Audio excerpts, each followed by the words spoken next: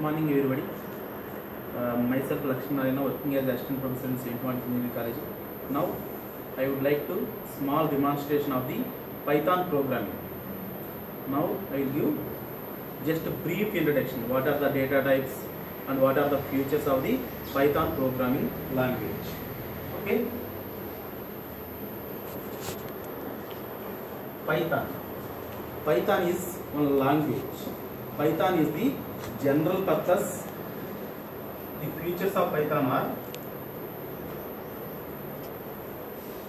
Python is general purpose language. General purpose and object oriented object oriented and interpreted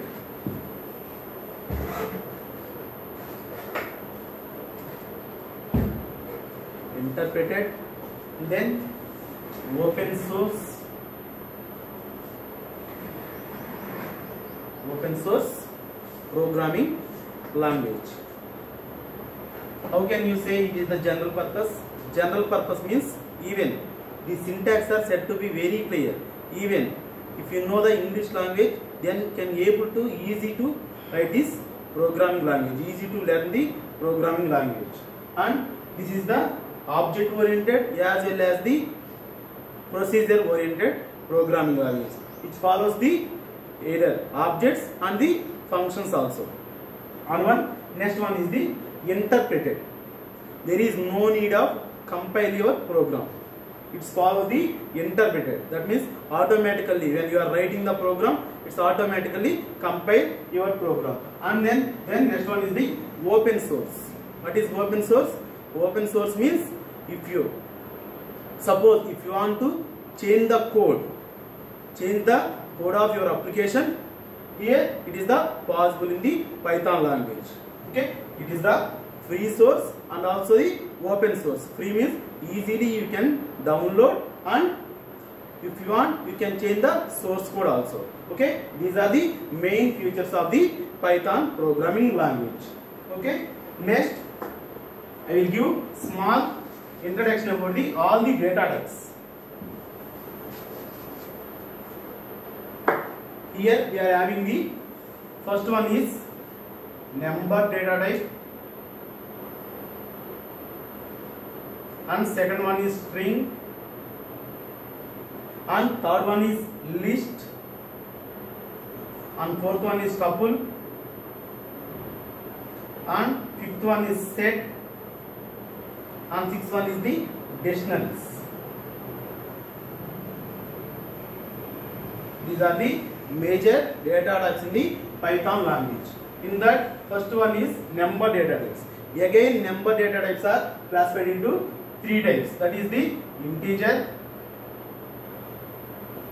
and next one is the float and then third one is the complex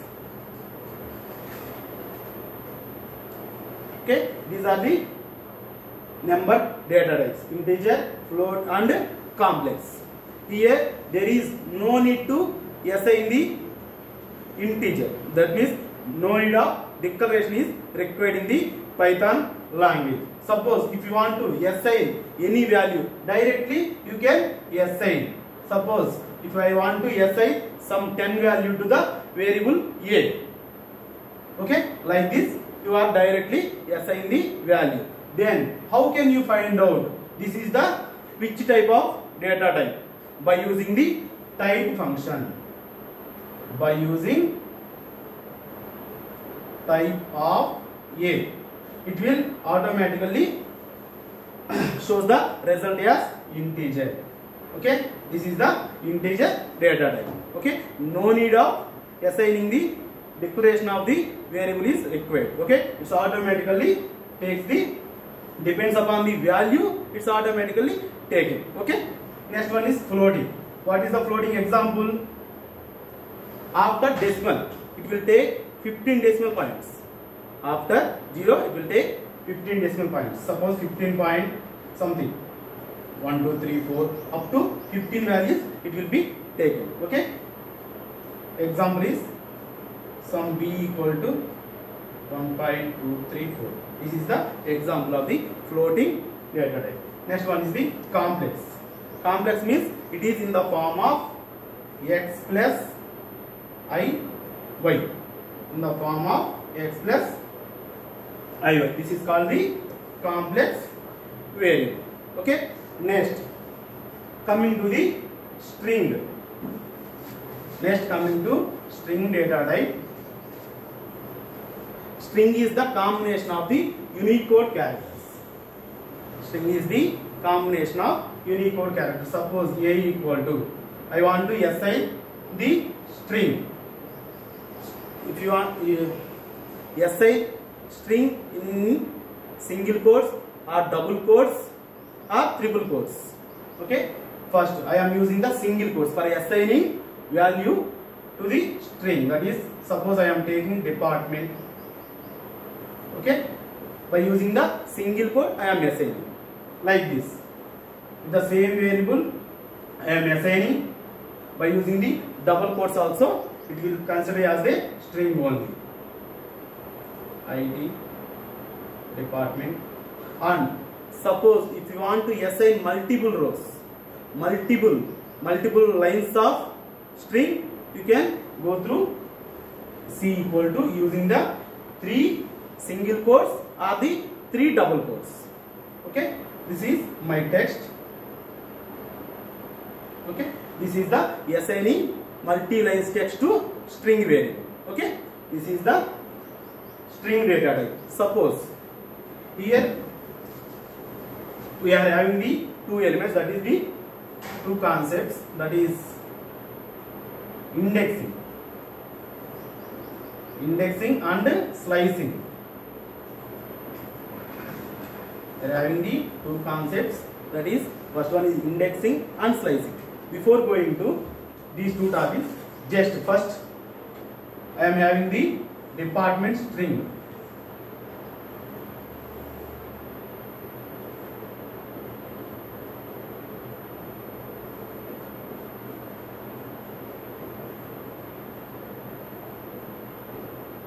This is the string department I am having. Suppose if you want to accessing substring from the given string, we are going to use the indexing and slicing concepts. Okay, index starts from the zero position. Index starts from zero up to n minus one. Zero, one, two,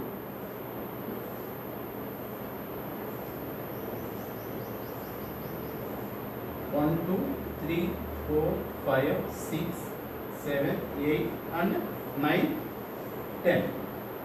This is the indexing. Index starts from the zero. Suppose if you want to accessing from the reverse order, here the negative indexing also there. That is minus one, minus two, minus three, minus four, minus six, minus seven, minus eight, minus nine, minus ten.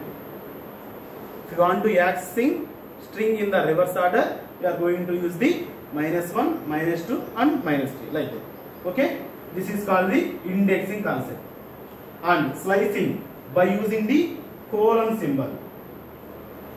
By using the colon symbol, we are going to accessing the substring from the given string. Suppose if I want to accessing only P-A-R-T part. Suppose I want to accessing part from the department string.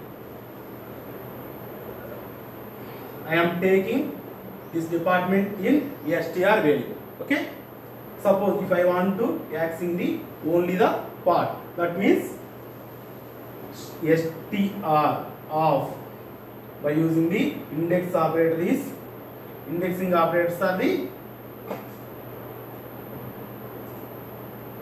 square by using the index operator that is the square brackets we can indexing then starting from the 2 here from 2 2 by using the here slicing operator then up to 6 2 to 6 that means the result is the then if you want to accessing this value by using the print statement you can print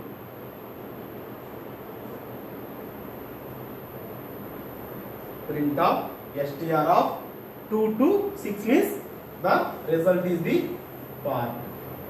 Okay? This is the output. This is the slicing and the indexing concepts. Next. And the next data type is the list. And then third data type is the list. Before going to introduce these data types now i will give small introduction about the what is mutable what is immutable and already i explained what is slicing concept. And then next what is order and what is unordered okay? What is mutable? Mutable and next one is immutable then slicing next one is the order and fourth one is the duplicate. Okay first you know this keyword first then I will tell you the remaining data types. Mutable. What is mutable? Mutable means you can change the elements. You can change the elements from the anyway. That that is called the mutable suppose this is i am the these type of the elements. Suppose one hello and hi. These are the elements in my tuple. Suppose if you want to change the elements change the elements or change the items from this variable it is possible when the data type is mutable. If you want to change the values from the data type that is called the mutable. Mutable means you can change. And next one immutable. You can't change the elements. You can't change the items. That is immutable. Next one is slicing. When you are going to use the slicing it follows the order. Without order you can't access the substring. How you are accessing by using the index concept you are accessing the substring. But our data type suppose our data types not follow the order. In that case you are not going to use the slicing concept. You can't able to accept the access the substring and next one is order. Order means suppose if you are giving in the one order then the result also coming in the same order only. Suppose if you are giving in one order in the result it will show another order means that means it is not follow the order. Next one is duplicates same element we are giving two or three times also some of the data types are data types are accepted some data types are not accepted okay these are the main differences then i will explain which data types follows which which is immutable and which is immutable okay then i will want take one table list tuple set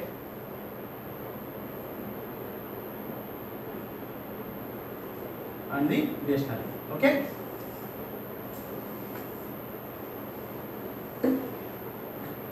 first one all the data types are the heterogeneous heterogeneous means it follows the it take the any type of input that means integer or string or any floating point or any complex numbers. All data types taking a are the heterogeneous data types. Heterogeneous. Same. This also heterogeneous. This also the heterogeneous. Heterogeneous. And next point is the mutable. List is the mutable if you want you can change the elements from the list. Okay? That's why we call it as the mutable data type. List is the mutable. If you want you can change the elements from the list. And next tuple. Tuple is the immutable. Tuple is immutable. Tuple is immutable. You can't change the elements from the tuple next one. Set. Set is set itself is the mutable. Set that means suppose wait the elements in the set is you can't able to update. The elements in the set. Suppose if you want to add or remove is possible but set elements are can't able to change. That's why you can you can call it as set itself is the mutable and elements are the immutable. Set itself is mutable. And then dictionary. Dictionary is the combination of key and value pairs dictionary is combination of the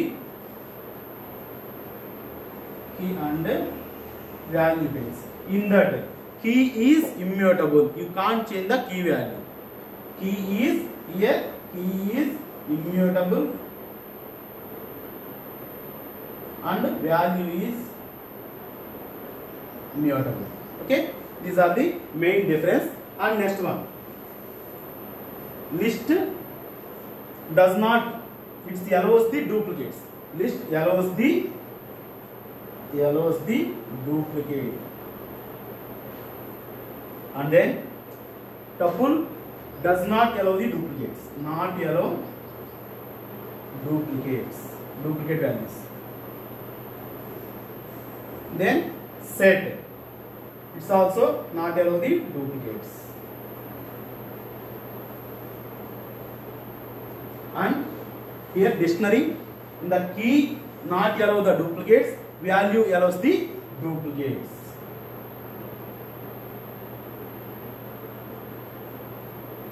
allow the duplicates these are the main difference and then how to represent by using the square brackets it is the list representation by using the square brackets you can assign values to the list then by using the parenthesis by using parenthesis you can access the tuple elements then set by using the curly braces